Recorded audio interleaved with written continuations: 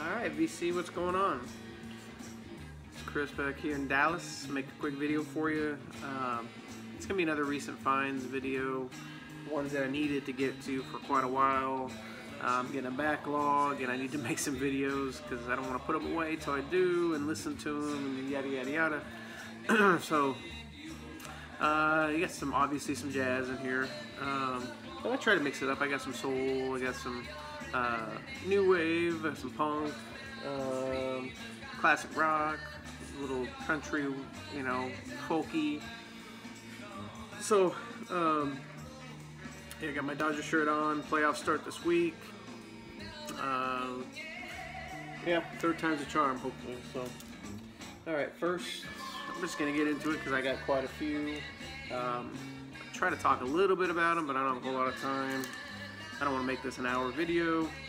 So first we got uh, Stan Getz Quartets.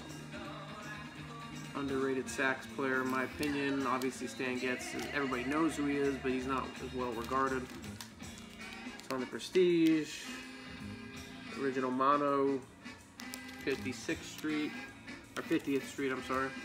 Um, terrific album. I think this is like a compilation type deal that Prestige put out. Um, just lovely album. His playing is great. Certain albums can be hit or miss, but for the most part, his albums are fantastic. Next one is uh, it's a cooker, man. Um, I don't know if I showed this in a previous video or not. I think I might have, maybe. Hold on. I think I might have already showed that one. Uh, so, oh yeah, we got Duke Jordan. It's on Savoy. It's original mono. Uh, he's on piano on this song. And then we got uh, Art Blakey on drums, Cecil Payne on baritone, and uh, Percy Heath on bass. Terrific, terrific album. Love that cover too. Most of these were uh, eBay finds. I don't know if I know show this one or not. This is uh, fantastic Frank Strozier.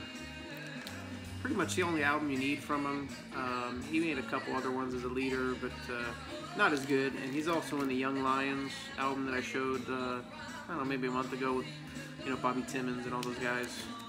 Look at that lineup. Booker Little, Paul Chambers, Wynton Kelly, Jimmy Cobb. Terrific album. First model press on the red VJ. Been looking for this one for a while. I had the the rainbow label, uh, later VJ. Um, so I was looking for this one for a while. One popped up. Crazy deal. Had to get it. I think it was an eBay purchase as well. Next one. Ornette Coleman. Change of the Century. Original mono in the Atlantic.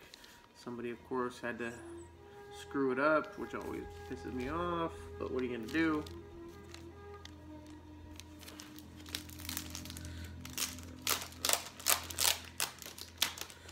This one. Uh, that's who, who he's got on here. Ornette Coleman, Donald Cherry, Charlie Haden, and Billy Higgins on this one. So, terrific album from Mr. Ornette Coleman. Love that cover as well.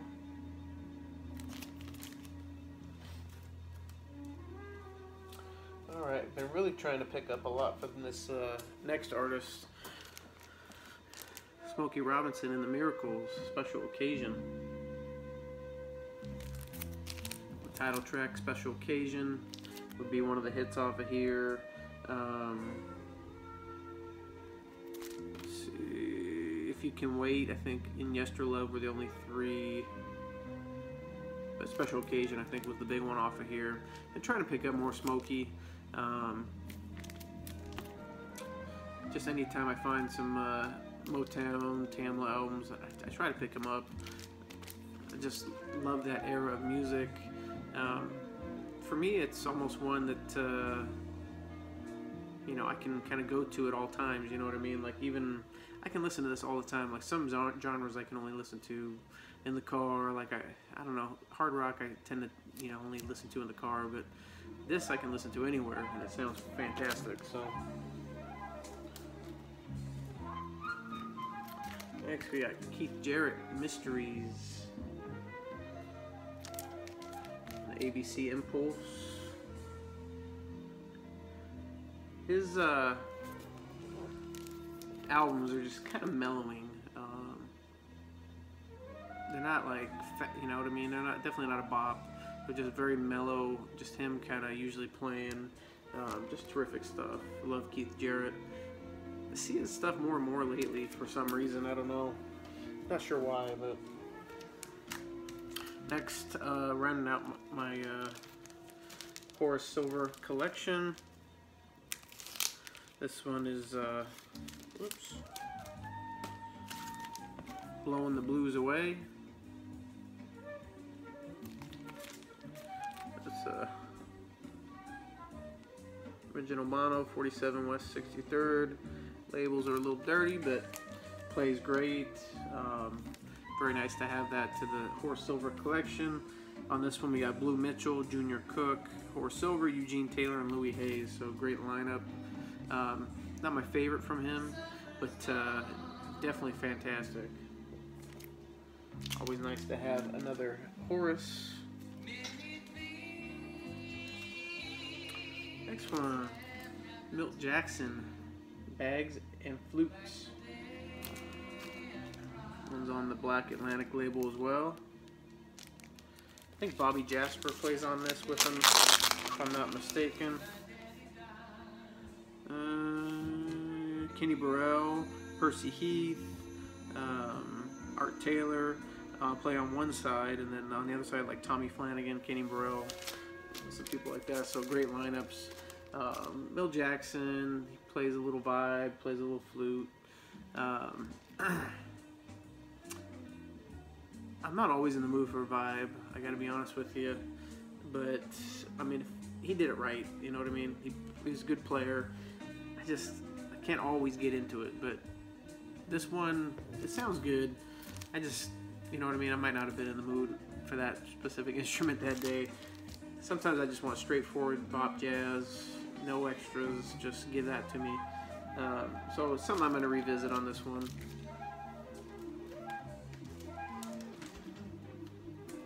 Next one we got Television. Sir, second album, right?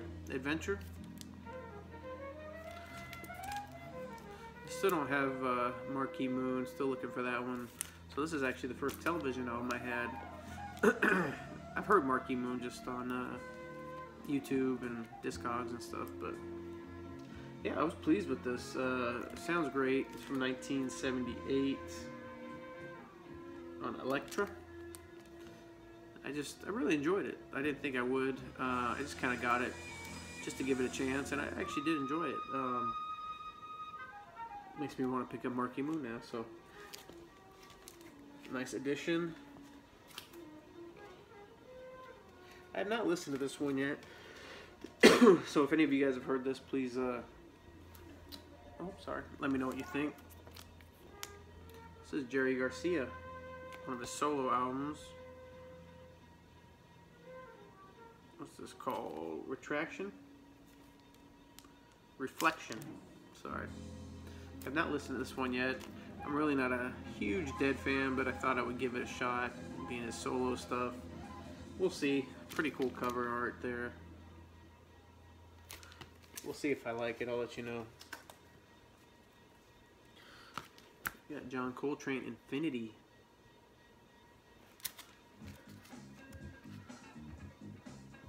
With the separated labels there. String orchestra arranged and conducted by Alice Coltrane. So I think that she kind of went back, you know, because this is posthumous, or I think that's how, is that how you pronounce it? Posthumous.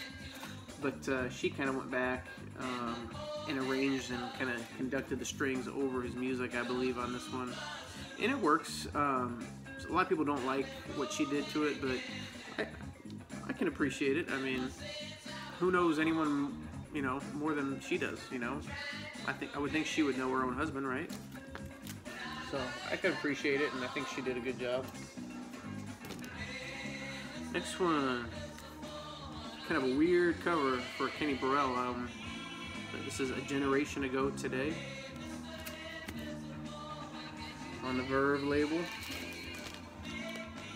Um, see who plays on this one with them. I can't remember. I don't want to open it up right now.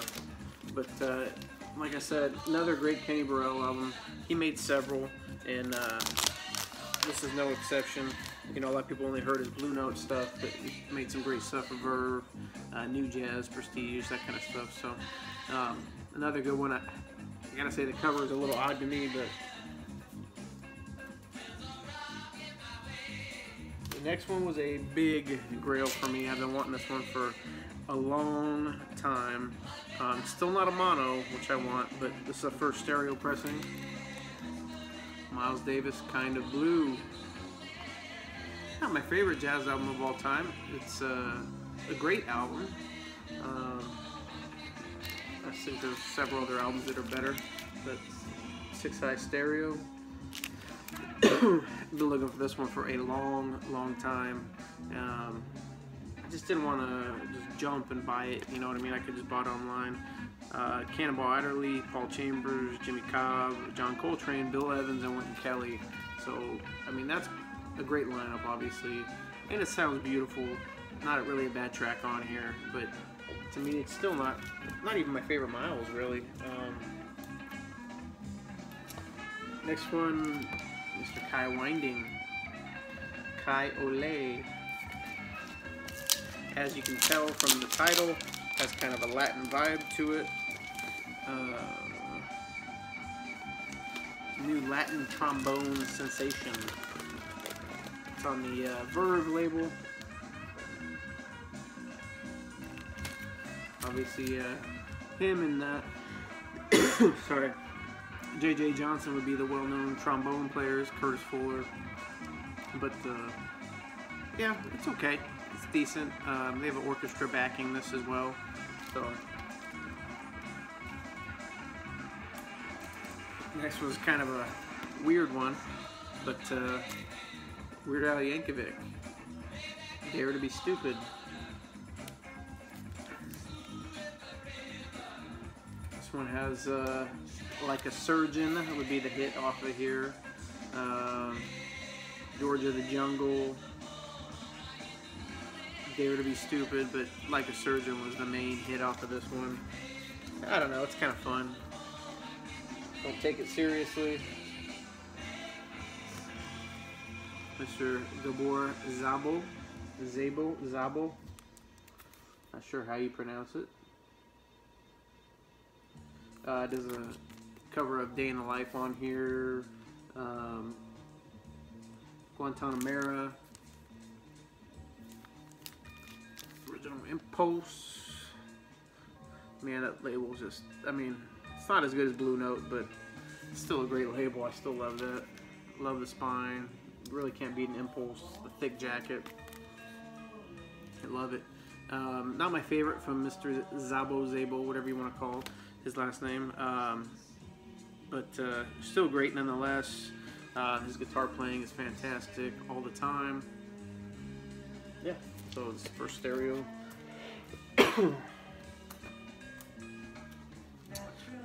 Alright, this next one, um, I've been trying to find an original for a while, just the pricing and whatever.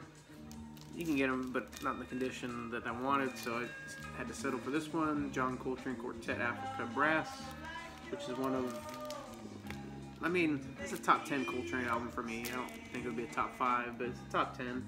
Um, but that's the yellow Impulse label, which was maybe in the 80s or something like that.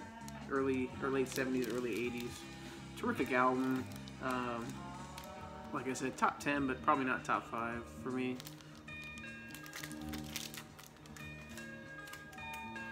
This one is terrific. I'm going to pull it out here. Also one, um, I think it was Andrew Tales from The Crate said this man never made a bad album, and I would probably have to agree with that. This is Wayne Shorter, introducing Wayne Shorter's first album for uh, VJ. That's the lineup there. Not too shabby. Uh, Wayne Shorter, sorry, Lee Morgan, Wynton Kelly, Paul Chambers, and Jimmy Cobb. Not bad for your first full length on the VJ label. Pretty, pretty nice. It sounds terrific. Um, he just has a way about him uh, with his uh, arrangements.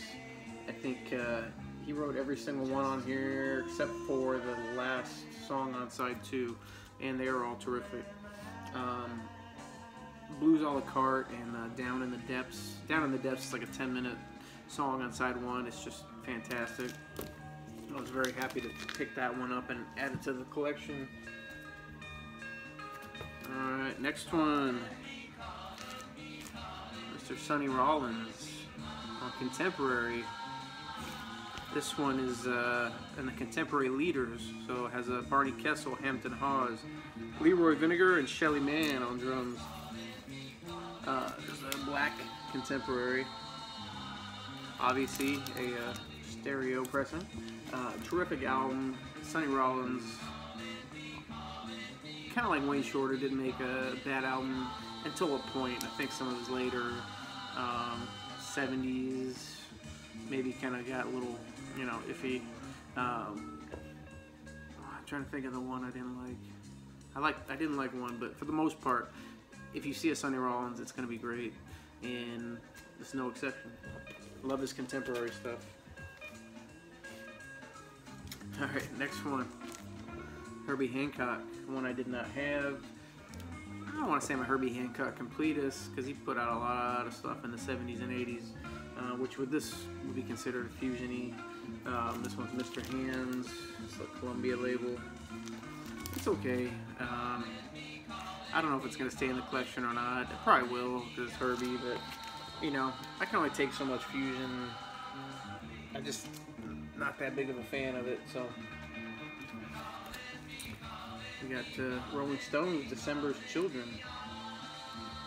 I think I had a long time ago sold this to, uh, you can see the cover's kind of ring wear and a lot of ring wear actually, but uh, I think I sold this to uh, my friend Morrissey Brendan, and uh, I didn't have it, so I probably shouldn't have done that, but um, yeah, this one has Get Off My Cloud, um, Talking About You, um, Gotta Get Away, I'm Moving On. I mean, it's a great album. This one's on London, I believe.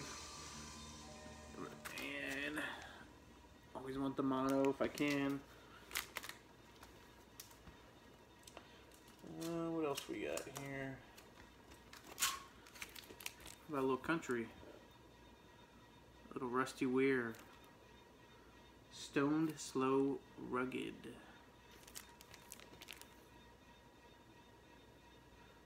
Got a cool little picture there. Kind of barefoot smoking guitar. Very cool country. Um, I wouldn't say folk, more country. Uh, kind of like outlawish, but uh, good stuff. All right, next we got a couple of uh, James Browns. This one is Hot from uh, 1975.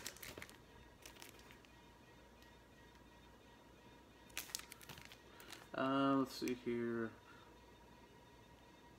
I don't think any of these are super big hits. Please, please, please. Um,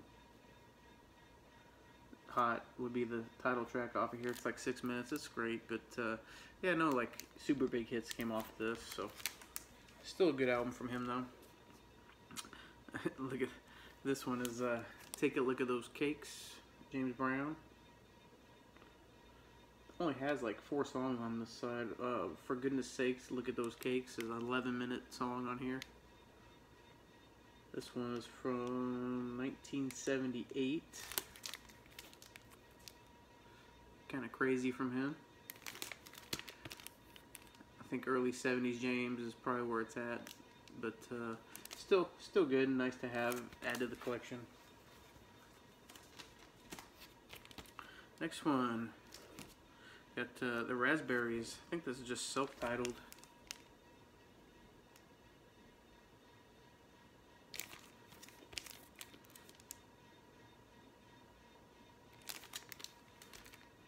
I can't remember where I got this. It was, I think it was cheap though. It was like a buck or two. Um, got Go All the Way, Come Around and See Me, I Saw the Light, Rock and Roll Mama. Good stuff. And last but certainly not least, Miss Janis Joplin in concert. Uh, see where this was recorded. So the first two sides are Big Brother and the Holding Company, and uh, sides three and four are Full Tilt Boogie Band. Um, they're kind of recorded in different spots. Um, yeah, I guess a lot of them are recorded in Detroit, Fillmore West, but the uh, Full Tilt Boogie was recorded at the Canadian Festival. Um, Canadian Festival Express, June 1970. So, nice double double album. This one's in perfect shape. That's why I picked it up. Cool gatefold. Anything from her is usually pretty damn good. So I will give pick that up, and it is good live recordings. So that is it for uh, this stack. Hope you enjoyed. Um, as always, let me know your thoughts, and uh, I've been trying to comment on your guys' video. I still watch, but um, if I'm on my phone or something, it's hard to comment on everybody's videos, but I, am trying. So, uh, but just so you know, I usually am watching your videos um, at work and stuff like that. So, hopefully all is well, and uh, hopefully everybody has a great week. And we'll talk to you next time. And uh, yeah, go Dodgers.